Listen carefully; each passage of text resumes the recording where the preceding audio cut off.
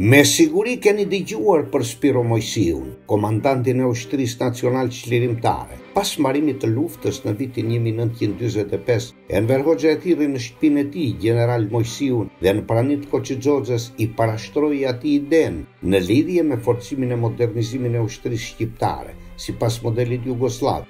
gjë e cila do të bëhej me ndihmën e instruktorëve ushtarakë jugosllavë që do të vinin në Shqipëri. Gjeneral Moisiu e kundërshtoi propozimin e Enverit duke i thënë, Po çfarë do të mësojmë ne nga jugosllavët? Kaçakë ne, kaçakë ata. Partizanë ne, partizanë ata.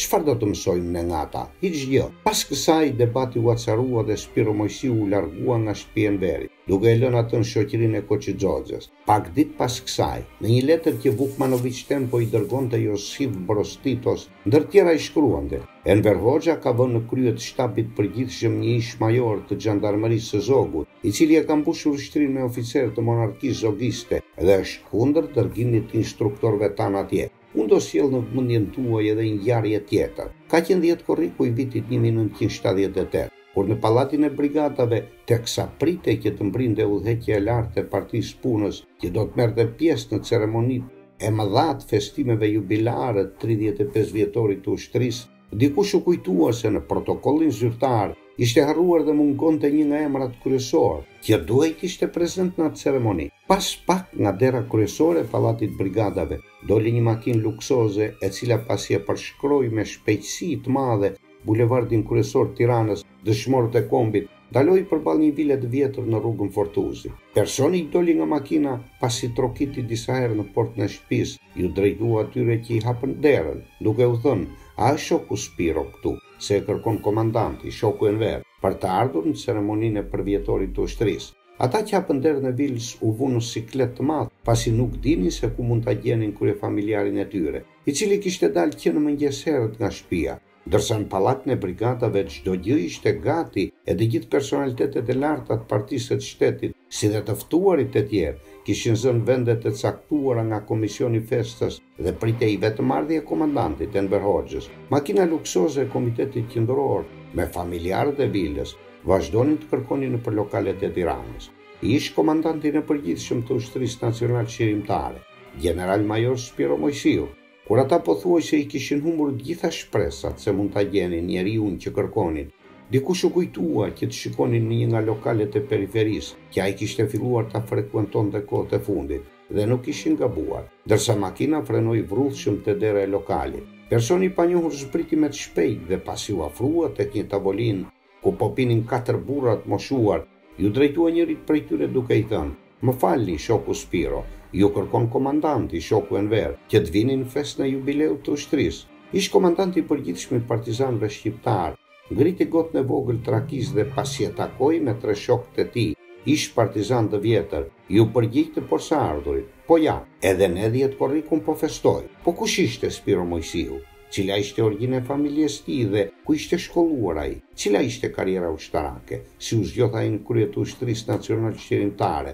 Dhe përse pas mbarimit të luftës ai u konfliktua me Enver Hoxhën? Si dhe përse mënjanoi Enveri komandantin e famshëm të Ushtrisë Partizane, duke nxjerrë në pension në moshën dyzet e shtatë vjeçare? për ta lënë pas në funksione honorifike. Spiro Moisiu u lind në vitin një mijë e nëntëqind në qytetin e vogël të Kavajës, në familjen e njohur të Moisive, prej nga rridhte edhe aktori i madh me famë botërore, Aleksandër Moisiu. Spiro mbeti jetim në një moshë fare të re, pasi babai i tij u vra në vitin një mijë e nëntëqind e trembëdhjetë, nga forcat rebele që kërkonin rrëzimin e qeverisë së Vlorës, të kryesuar prej Ismail Qemalit. Pasi mbaroi shkollën unike në qytetin e Kavajës dhe Durrësit, Spiro u dërgua për të ndjekur gjimnazin në kryeqytetin austriak, në Vjenë. Pas kthimit nga Austria, ndoqi kurse trajnimi për oficerë, nga instruktorë gjermanë dhe austriakë. Spiro Moisiu mori pjesë në përbërje të forcave qeveritare që u caktuan në mbrojtje të Kongresit të Lushnjës, dhe po atë vit ai u caktua me detyrën e shefit të shtabit të grupit, në luftimet që u zhvilluan në kaptinë të Martaneshit kundër forcave serbe.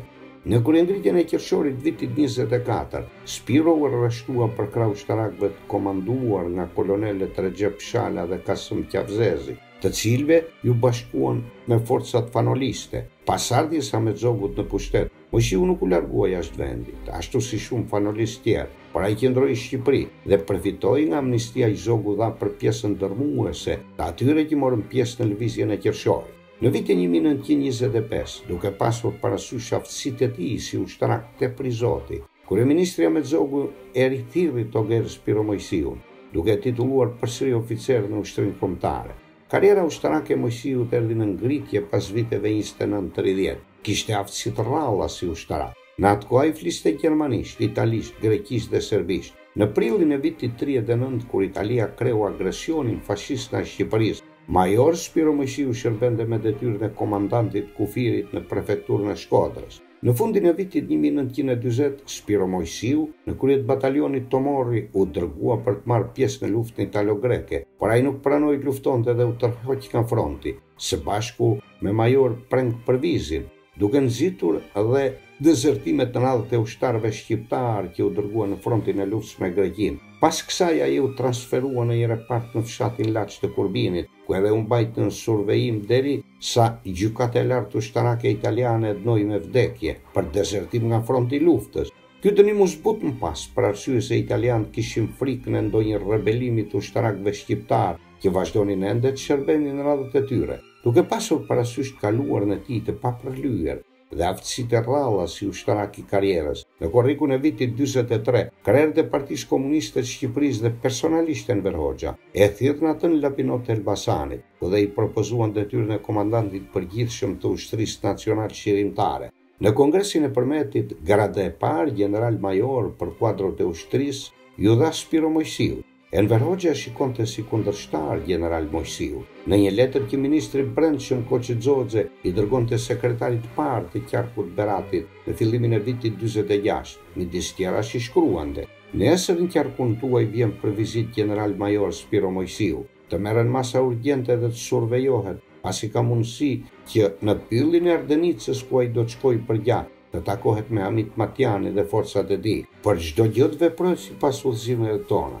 Pas disa konflikteve të vazhdueshme që Enveri pati me shefin e shtatmadhorisë, gjeneral-major Moisiun, në vitin dyzet e gjashtë, ai nxori urdhrin e lirimit dhe e shkarkoi nga detyra, duke e nxjerrë atë në pension moshën dyzet e shtatë vjeçare. Në vendin e tij Enveri emëroi Mehmet Shehun, të cilin e thirri urgjent nga Moska, ku ai vazhdonte studimet në Akademinë e Shtatmadhorisë, Dhe gjatë dorëzimit të detyrës, çelësat e zyrës Moisiu ia hodhi Mehmet Shehut te këmba. Për ta denigruar fare gjeneral Moisiun, Enveri e caktoi atë në detyrën e kryetarit të shoqatave në ndihmë të ushtrisë dhe pas pak kohësh e emëroi në funksionin e kryetarit të gjuetarëve të Shqipërisë. Sipas autorit Dashnor Kaloçi të cilit iu referova në publikimin e Memorie pikë al, në vitet që pasuan dalëngadalë Enveri e la krejt në harresë gjeneral Moisiun. emrin e të cilit e hoqi edhe nga historia e Shqipërisë e tekstet e tjera mësimore, ku flitej për historinë e luftës antifashiste.